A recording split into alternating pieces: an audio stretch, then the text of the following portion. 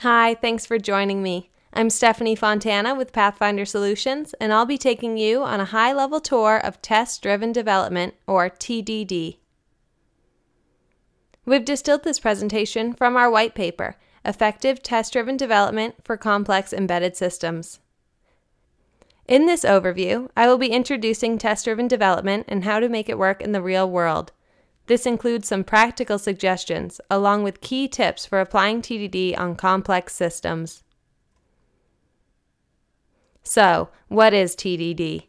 Basically, you build tests right along with building product software in very short cycles. Write the unit test, write just enough code to pass the test, refactor, repeat. Testing and test automation have been around since the dawn of bytes. Why is TDD becoming important now? Because systems are more complex than ever before, and the business pressures to produce more product faster and better are ever increasing. The old fashioned approach of hacking out code simply won't bring success in today's high speed, high pressure markets. TDD's continuous emphasis on quality brings products to market faster. This figure shows an example of a test log with all tests passing an important indicator in a successfully operating TDD process. Green means go, as in go to market. So, how does TDD get us to market more quickly? From the beginning, TDD maintains a focus on quality, and higher quality software is faster to integrate and deliver. Like any other development methodology, TDD has both pros and cons. So, before we discuss the benefits of TDD, let's cover potential disadvantages. A casual approach to adopting TDD may not deliver organization level benefits. Since the TDD payoff often comes later in the development cycle, it can be easy for stakeholders to become concerned and feel as though the time it takes to write thorough tests is wasted. Moving to a more team focused process like TDD can be difficult for many developers, However, one challenge of being agile is recognizing that certain individual coding habits may not deliver maximum team productivity in the long run. Even with TDD helping you stay on the path of high quality development, the best results still require good design and proven coding practices. Likewise, the development of quality tests requires effort and skill. Building bad tests Incomplete test suites, or even too many tests, can diffuse many of the potential gains of TDD. There's a balance to be struck between producing thorough tests, simple tests, and many tests. To get the payoff of TDD, developers have to write quality code in the simplest way possible. While adopting a test driven development approach takes significant effort and may subject a development organization to the discomfort of culture change, the benefits far outweigh the costs. The simple, iterative development microcycle provides the basis for TDD's successes. The TDD approach forces each component to steadily build capability at a consistently higher level of quality by testing first developing in small increments, and requiring tests to pass. A solid TDD culture with a rich test base is the best preparation to rapidly seize opportunities and beat competitors to market. The TDD test base boosts development level documentation essential for understanding requirements, testing integration, and deployment. TDD also helps developers avoid over engineering solutions due to its short development microcycle and focus on requirements, breaking the problem into modular units and producing a solution that can be tested as well as implemented. And the ongoing creation of unit tests aggregates into a valuable integration resource. TDD supports better design through more complete refactoring. A solid test base enables developers to more thoroughly and rapidly refine their design in the midst of ongoing development, and the automated unit tests help developers ensure that they have not impacted a team member's existing work when refactoring or adding updates. In addition to a general boost in quality, TDD markedly boosts productivity through a stronger focus on modularity and a substantial reduction in the number of catastrophes commonly faced in integration. Last but not least, a fundamental aspect of TDD is that software defects are tightly contained. They are eradicated upon genesis. On top of all of those benefits, TDD also cuts time to market. Current realities of business in the realm of embedded software include increasing competition, reduced schedules, and tighter market windows.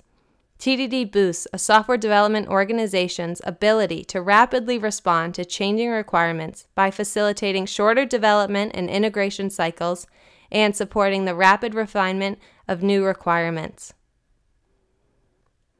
The TDD cycle is shorter than the traditional development cycle. By focusing on building only what is needed to get the test to pass and using immediate feedback to reduce regression errors, the development cycle can quickly be shortened to its essential core. Quality improvements gained at the component level speed development of the component itself and also slash the time needed to integrate it into the complete system by a substantial degree. Typically, Integration delays for systems with average component quality will bloat software development and delivery schedules. When applying a TDD approach instead, most component issues are resolved much earlier in the process or eliminated outright, thus shrinking integration times and quickly getting the completed product to market. Boby George and Laurie Williams from the Department of Computer Science at North Carolina State University ran a set of structured experiments with 24 professional pair programmers. One group developed code using TDD, while the other a waterfall like approach. Their findings are published in An Initial Investigation of Test Driven Development in Industry. Here are some of the highlights. In the actual practice, Tidy theories can fail to deliver positive results due to the inconvenient realities associated with building complex, high performance embedded systems. Teams that are able to successfully surmount these challenges recognize that TDD needs to be part of a cultural shift to a development perspective that embodies a holistic focus on quality. Our customers' experiences have shown key techniques to mitigate these risks. Poor quality software is expensive. Socialization is key. Change is uncomfortable but necessary. Experienced guides are essential. Wishful thinking by itself is not enough. Now let's take a closer look at the meat of test driven development. The core technique of TDD is red, green, refactor, an iterative development microcycle in which the tests and behavior are implemented. We start with red. Write tests. They will fail initially. Now write feature code. Tests pass. Refactor both test and feature code. The TDD microcycle provides rapid feedback to the developer. As soon as a code change is completed, it is tested if the code has an error, it is instantly caught. The immediacy and locality of the feedback is very valuable. An effective microcycle requires quick compilation and execution of test cases. This requirement is central to sustaining the pace of development and reducing the obtrusiveness of tests. A key technique is to enable the automatic execution of test cases as a post build activity, which combines building and testing into a single developer step. The most important aspect of TDD is that developers test first. Testing first may not match your existing habits, but this aspect of TDD delivers these key benefits.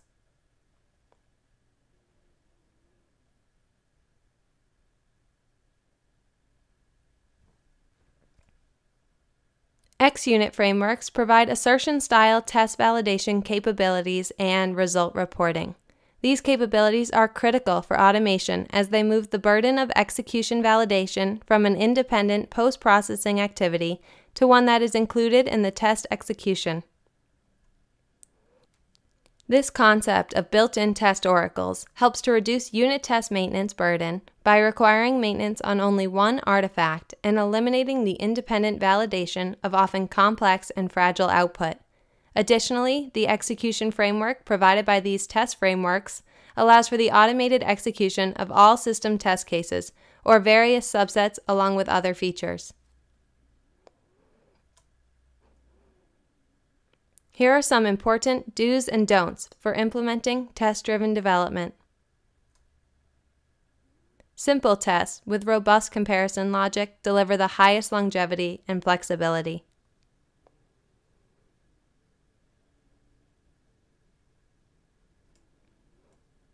Conversely, overly complex tests with voluminous output or sensitive timing requirements confound test automation efforts.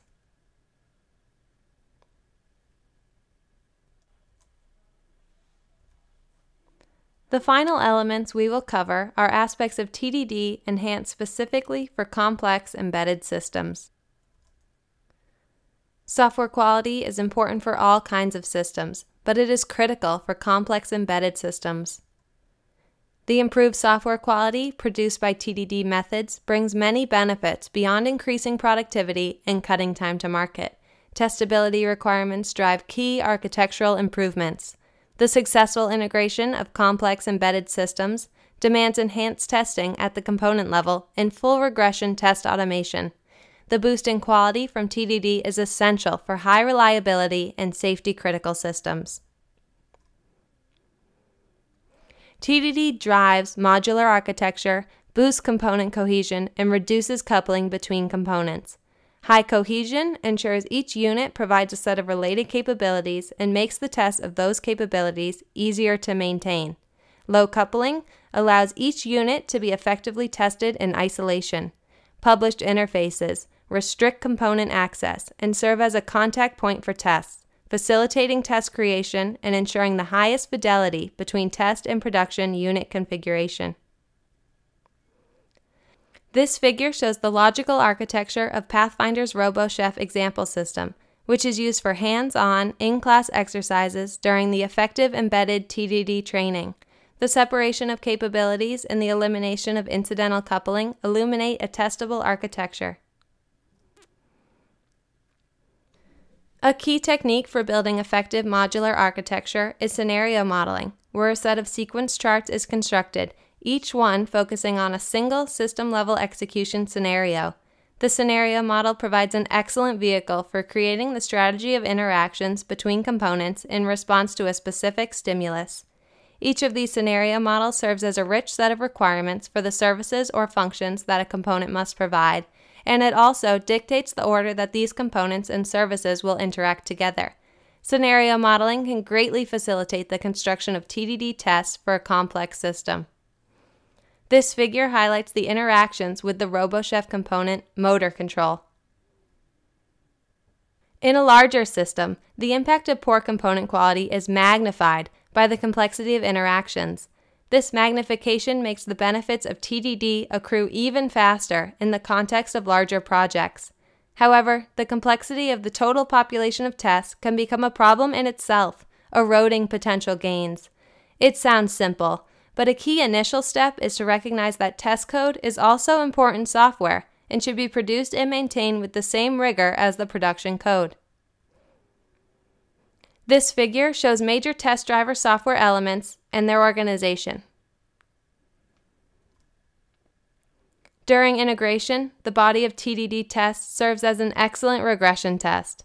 Since building the entire body of software for a large system can be time consuming, it is essential to structure the test code so a single build can incorporate the regression base for all system components. Best practices in this area focus on simplicity and ease of automation. We've reached the end of the presentation.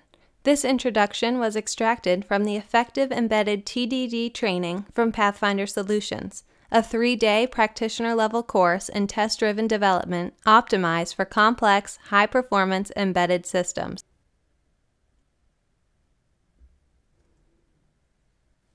I hope you've enjoyed this brief introduction to test driven development. The full white paper, Effective Test Driven Development for Complex Embedded Systems, is available on our website, pathfindertdd.com. Feel free to contact us at Pathfinder Solutions with any questions. And thank you again for joining us.